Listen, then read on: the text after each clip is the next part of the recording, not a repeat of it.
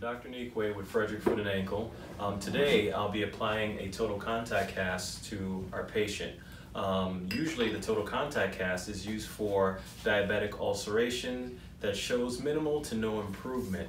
Total contact cast is changed weekly and that will allow the wound to heal by decreasing the amount of pressure to the area and the amount of friction to the wound.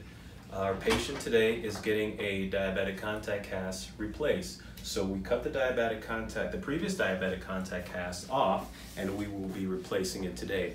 We took measurements of the wound prior to the initial placement, and it already has shown a significant reduction in size. So this is what the diabetic wound looks like, and usually the wound is a plantar wound or a wound that's on the side or outside of the foot, anywhere from the heel to the front of the foot. So again, this is what the wound looks like. And once we place the cast, we will also show you what the cast looks like in completion.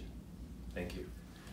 I am Dr. Neequaye again, just coming back and recapping where we left off in terms of making the total contact cast. This is the total contact cast that now has been completed. You can see that it's very solid, um, preventing any additional pressure, and it also has a special walking pad that allows the patient to bear weight to the foot, but still keeping weight off of the wound area. And with that, you will notice that it also helps to decrease the amount of edema and swelling that you will experience to your foot and the amount of pressure. So those two factors combined will allow the wound to heal and allow the wound to heal quickly. Thank you. For Frederick Foot and Ankle.